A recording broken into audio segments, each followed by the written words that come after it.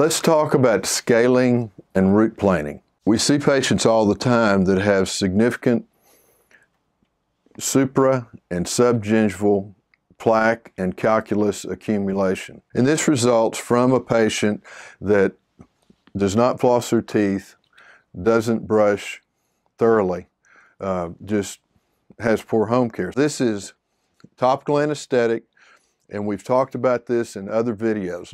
A mixture of lidocaine, prilocaine, and tetracaine.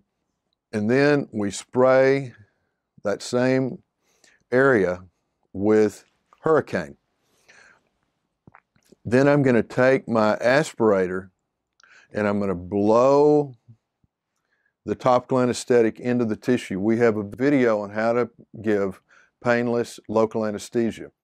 But once you place the topical anesthetic, blow it in with your air syringe, then I'm going to come back with a 30 gauge needle and Citanest plain, which is pH neutral. Always start with Citanest or pH neutral lo- local anesthetic because those anesthetics don't have the sting that lidocaine, marcaine, other anesthetics have. Then I'm going to come back with lidocaine. This is a Varios 350 piezo scaler unit Lux handpiece with a number G2 tip. Lots of water, lots of aspiration, and you just place the tip against the tooth in the sulcus and get after it. Just a very light touch, lots of water. This is an excellent tip and an excellent uh, motor. Just a very light touch, very light touch. It's like you're painting the, in, the sulcus.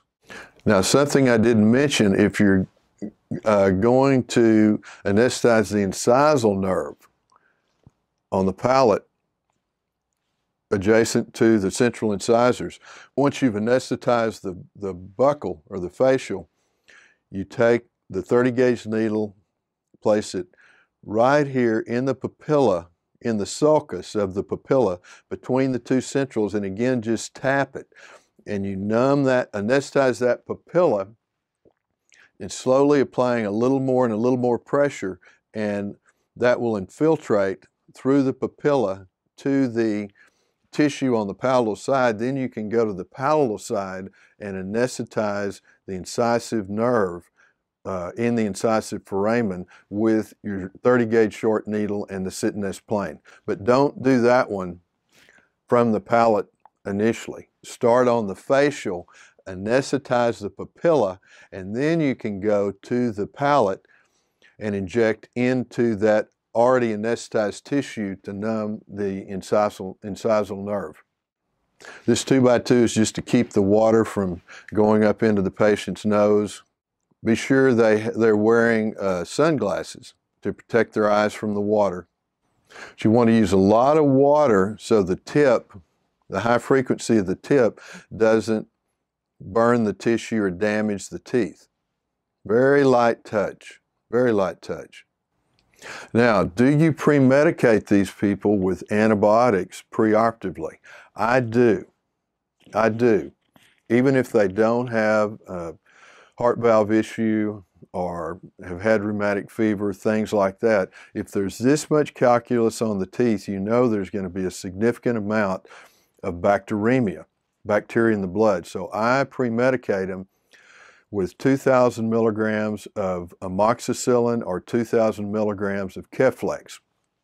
I'm very conservative with antibiotics, but I think in this case, when there is that much calculus, subgingival, and plaque, and all that bacteria is going to be getting into the blood, I think you should pre-medicate these people with antibiotics an hour prior to the appointment. Now, don't give them antibiotics post-op. I just give them the, the recommendation is 2,000 milligrams an hour pre-op. Again, we're just painting the sulcus, removing all that tissue with a very light touch. Mandible, same thing. And this handpiece shows you the settings. The motor shows you the settings for endo or perio. So you just you go by the, the proper setting as far as the the power of the ultrasonic.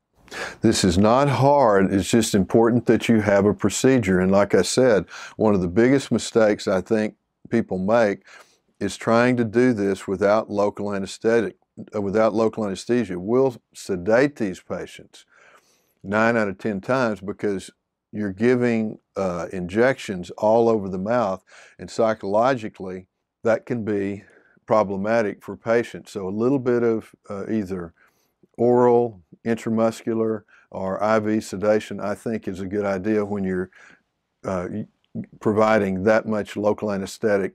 Now, this is a scaler, hand scaler.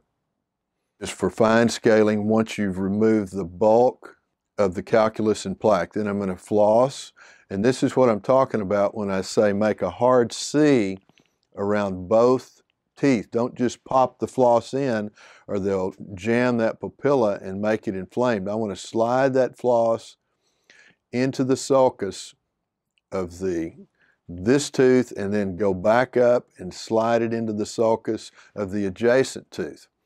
See the hard C into the sulcus. I'm not jamming the papilla. And you know it's going to be kind of a bloody mess when you're through. So this is just pumice mixed with hydrogen peroxide in a dappen dish with a prophy cup, polishing the teeth. Gosh, it just looks like it'd feel good getting all that calculus and plaque all the off the teeth, doesn't it?